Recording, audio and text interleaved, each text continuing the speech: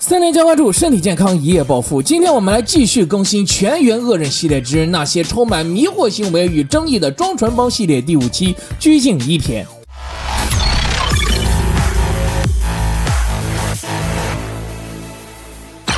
其实跟前四期相比啊，拘禁一篇本来我不是很想做了，因为他的瓜比那儿姐四个可谓是小多了。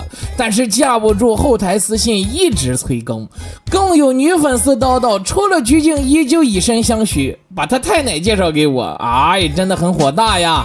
于是这一期我们就讲讲鞠婧祎充满谎言的明星路。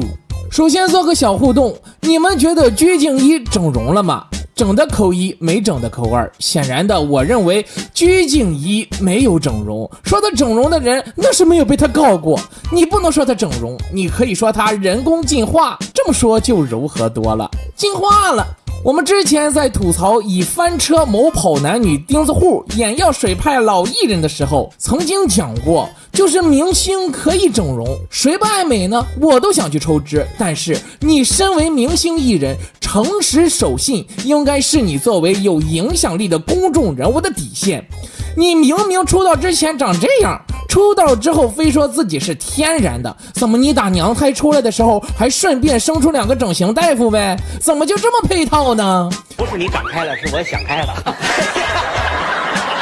然后，当鞠婧祎在出道的时候，面对着打光时鼻子发光的问题。死活就是不说自己整过容，然后就是各种买营销、买热搜，哈，是吧？说什么鞠婧祎是天然美女，更被小岛子网民评价为四千年一遇的美女。当时刚出这个新闻的时候，我还以为是变相的黑鞠婧祎呢，毕竟多少老牌美女都没人敢这么捧啊。上一个号称前无古人后无来者的美貌的，还是芙蓉姐姐。女明星整容无可厚非，连刘晓庆大妈这么大年纪了，还要通过医美来不辞辛苦的在大荧幕上演少女来恶心我们。你像歌坛才女王蓉，人家就大大方方的承认整容了，又能怎么样呢？对吧？可鞠婧祎就没有啊，非要说自己是天生丽质，而且说一套做一套。在面对网友四千年一遇的美女的头衔的时候，她是这么解释的：其实不，那个事情，它它的最大的压力在于，你有了这个所谓的噱头之后，然后别人，嗯，别人就会就是带着有色眼镜看。然后我记得那个时候我还没有开始发新闻，然后就是会有人来看嘛，想看看就是那个四千年到底是什么样的啊！天哪，就是你自己没有在意那个东西，但是别人才在意。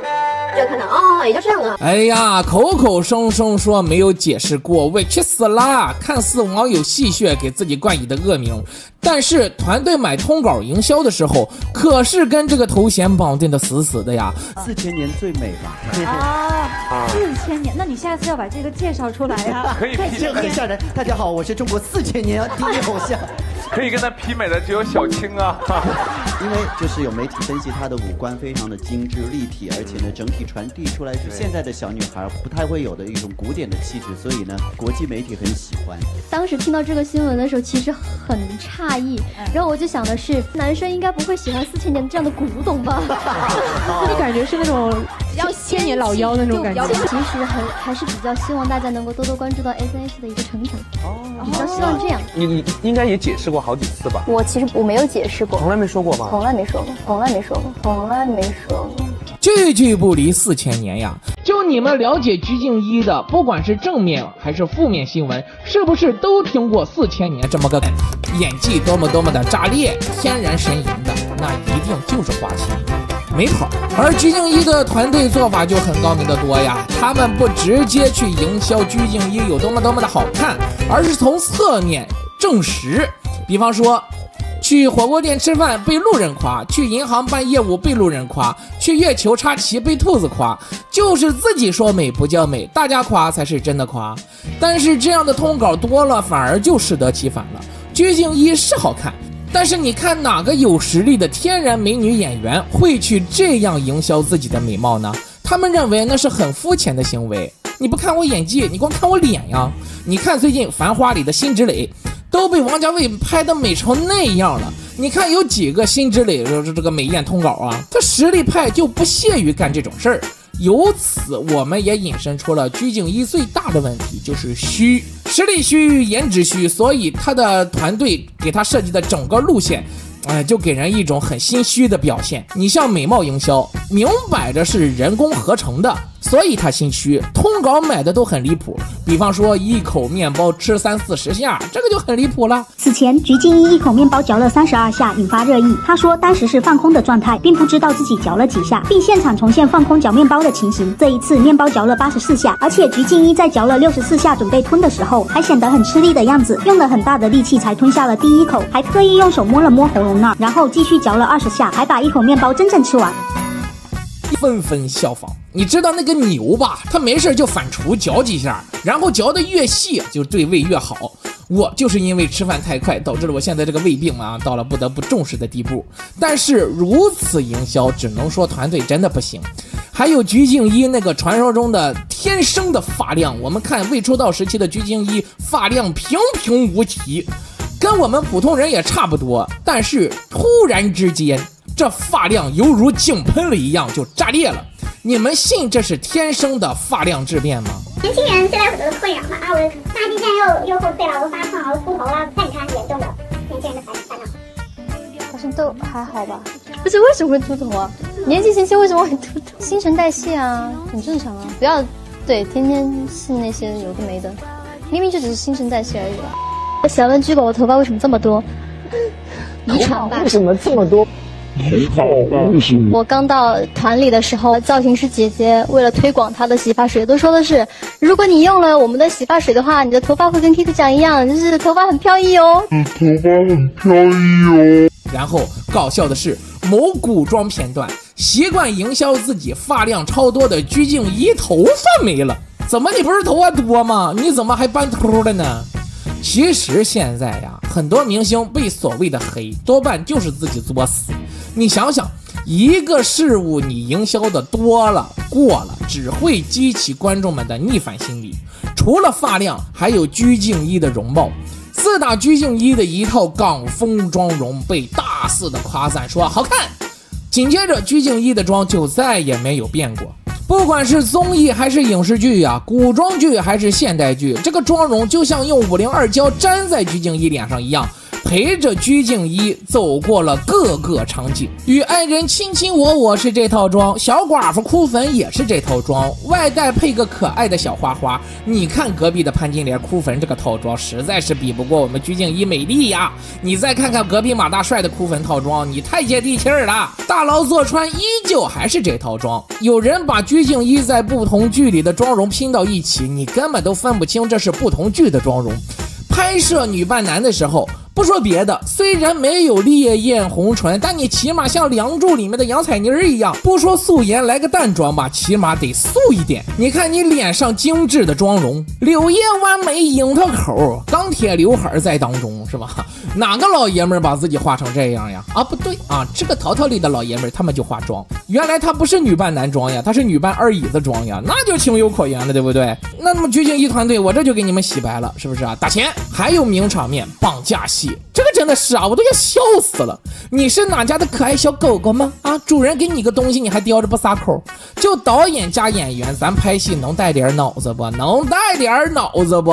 哪个被绑的就叼这么点布呀？当然了，我们知道这是要突出美感嘛，你甚至要换个 BGM，你说这是新娘出嫁都有人信。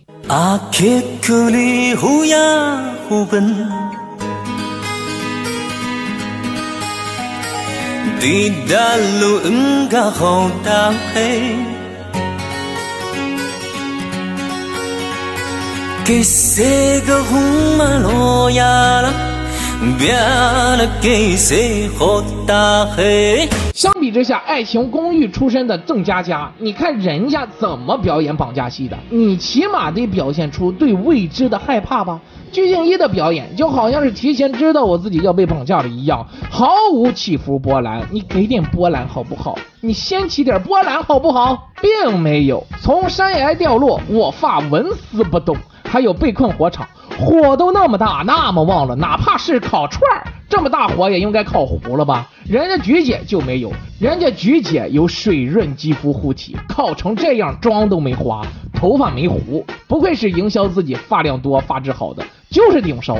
谁说中国没有属于自己的超级英雄？还有假扮难民，好家伙，超白粉底大引线。你再看看隔壁那些难民，好家伙，别的难民是饿死的，鞠婧祎这难民难道是化妆累死的吗？所以，当演员跟团队把所有的精力都放到了妆容造型上的时候，那就只能证明一件事，就是心虚。要用美美的妆造来掩盖演技上的不足。毕竟爱豆的粉丝向来是只看眼不看活。如果娱乐圈靠业务水平来给流量明星划定酬劳的话，那娱乐圈流量得饿死一大半儿。我这还是说保守的。于是，除了精致的妆容之外，鞠婧祎的演技也是一言难尽呀，是吧？《迦南传》口碑不错，但是鞠婧祎小姐的无辜脸也确实挺出戏的。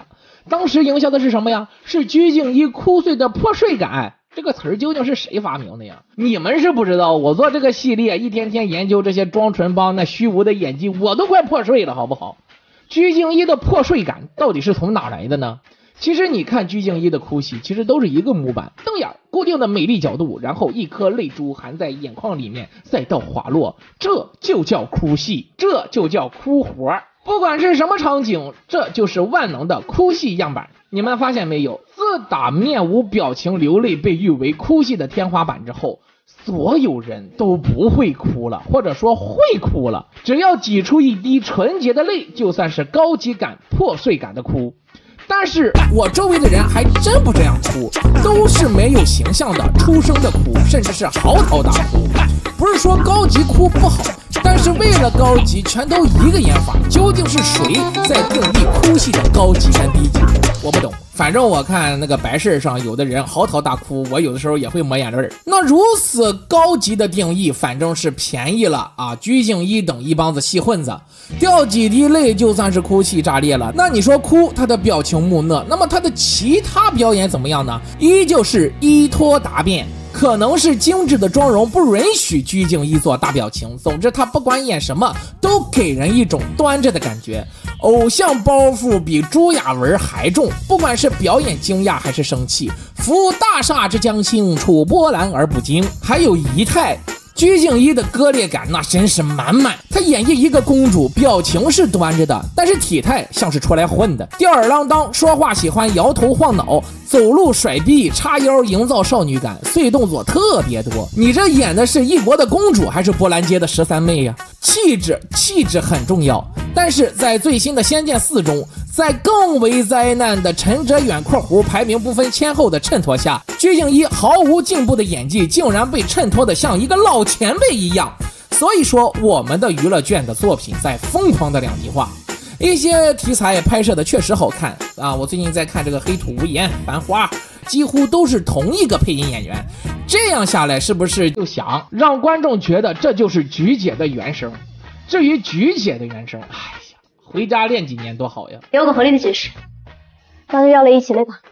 真是圈钱要趁早，而粉丝还在洗，营销号也在卖力的营造鞠婧祎的努力人设。鞠婧祎真的把野心写在了明面上，凭实力从全网黑中杀出了一条血路。鞠婧祎的事业心真的比我恋爱脑还严重。天爷不给饭吃，那就从他手里抢饭吃。他努力啥呀？他努力圈钱呢。娱乐圈混了这么多年，他花了这么多钱，不就是为了圈粉丝那点钱吗？别人以为的天赋，其实是背后热爱到极致的努力。一定要一步一步的走，能达到什么样的就是什么样，不要去强求。别人会给你，那是别人的事情。我很满意我自己，因为我本来就是个完美主义者，就是你不那样要求我，我也会这样要求我自己。我是一个比较看能力的人，嗯，就要求自己要做到更好。因为好好努力总是没有错的，好好耕耘才会迎来收获的季节。学习一个什么东西，只要你每天练习。嗯，就是会做得越来越好，是吧？你看他这几年，差不多的妆容，差不多的类型，差不多的演技，甚至连作品的评分都差不多那个德性，你吹的啥呀？就连有演技的杨紫试水拍了一部女心理师都被吐槽之后，又一猛子扎回古偶剧里面了。你鞠婧祎咋还不觉得自己应该提升一下自己的业务水平呢？那么你们觉得鞠婧祎有实力能够在影视圈里混吗？够的扣一，不够的扣二。再说了啊，说你演技不行，你鞠婧祎不是号称你自己学习能力强吗？那你就好好学学演技，不行吗？我想做什么事情的时候，我一定要去把它做好，就不要让我还没有学好，你就让我去跟大家展示一下。我就希望把它学好了再去展示，不停，请跟自己要求。我很满意我的。是不是各位看到这里就要被气炸的消消气？身体健康才是最重要的。说到身体健康，一定要从吃入手。有些人说健康就是吃出来的。大家知道郭玉林，我一直饱受肥胖的困扰，属于闻风胖三斤，闻屁胀二两的。一般的自律食品啊，要不就是难吃，要不就是难吃，是吧？总之就是吃几口就放弃了。那么今天为大家推荐的是谷物对白奇亚籽谷物吐司。这款吐司最打动我的点就是粗粮的效果，细糠的口感啊！它不光是 DJI 食品，能达到高饱腹感，而且口味很不错。我试了下，一个大老爷们儿吃个两三包，能顶四五个小时都不饿。吃的少了呢，有热量差出来啊，自自然人就轻快了很多。而且口味上也是非常的不错。要知道这种自律期吃的东西呀，只有好吃才能长期坚持。它富含高蛋白、高膳食纤维，碳水含量比普通吐司低出百分之二十，蛋白质能高出百分之三十，口感好，不干不噎，吃起来会有隐约的谷物颗粒感啊，是那健康的感觉。像咱们日常吃的全麦吐司，那真是如鲠在喉，如芒刺背，如坐针毡，双效控糖技术，而且他们还给我邮寄了各种认证书和报告书，就差把专业两个字贴到我脸上啪啪的甩了。看了看，嗯。有通过国家认证，由上市检测公司华测认证。这款吐司 GI 值小等五十五，属于 DJI 食品。就问你权威不权威？Hard throw 不 Hard throw？谷对白奇亚籽谷物吐司适用于减脂控糖，才能长期坚持。控糖技术干预下，热量吸收少，吃饱的同时还能制造热量缺口。利用阿拉伯糖中和蔗糖，利用复合益生元和膳食纤维中和淀粉糖，并不是粗粮粉堆砌，实现低卡和好口感并存，自然就能有很多人认同啊！心动就赶紧点击评论区链接卷起来吧！而后来最恶心的事儿是，鞠婧祎业务水平这么拉垮，还有脸在一部烂戏为了一个番味儿跟别人开撕起来，菜鸡互啄呀！这不是最近吗？啊，某易的《仙剑四》跟某企鹅的《仙剑六》开始打擂了，而某库则直接宣布了《仙剑一三五》限时免费。真实的商战啊，就是这么的朴实无华且枯燥。而这边剧还没播完呢，那边《仙剑四》演员就撕起来了。其实啊，就是个番位的问题。二二年这个剧杀青的时候，由于陈哲远和鞠婧祎（括弧排名不分先后）（括弧完毕），双方的粉丝都说自家的主子才是一番味儿的，结果就没人能给出个官方说法。于是这个问题就一直拖到了现在。演技都这么烂，还要抢番位儿，属实是老太太当街生孩子，心态炸裂了。粉丝列举了各种证据，证明鞠婧祎就本来应该是一番味儿的，因为当初签订的就是一番合同。